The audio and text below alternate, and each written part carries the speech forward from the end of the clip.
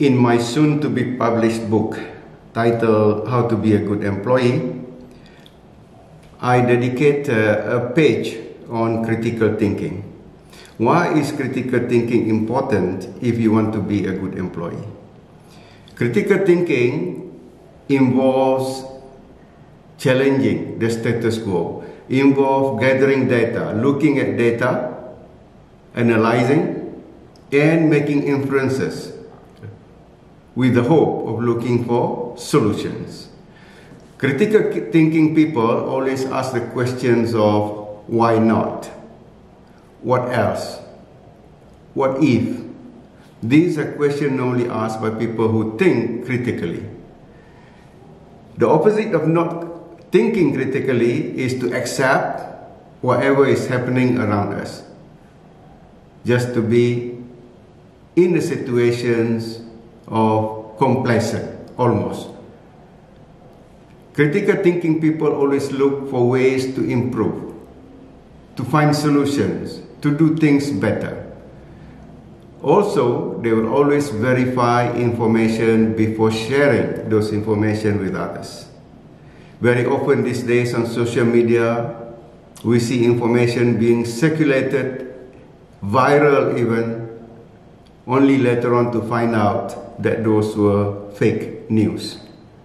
So it's very important for us to always ask ourselves the logic and the rationale and the validity of those information.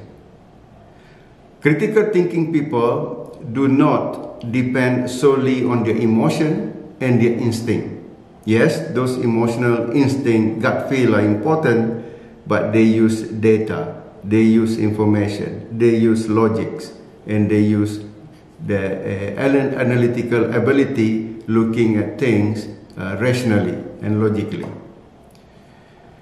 Even our own values and principles can be challenged if we care to think critically about why are certain values important for us. Why are certain principles important for us? Are there some biases there that we can challenge, even ourselves? For instance, if we are biased about certain things, we can be so deeply ingrained in these beliefs and these values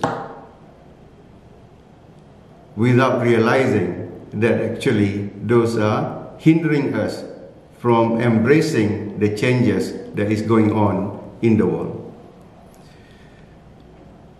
Critical thinking is emphasized by the ability to observe things around us then to use this observation based on our experience, based on our mindset and values, and based on our ability to analyze, to come up with information, useful inferences from the observation and from the information that we have. Then as a good employee, we need to be able to communicate with others.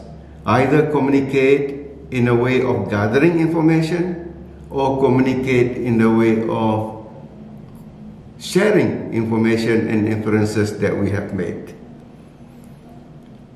The ultimate objective, of course, is to find solutions to problems at work or problems around us. That's all for today. Thank you.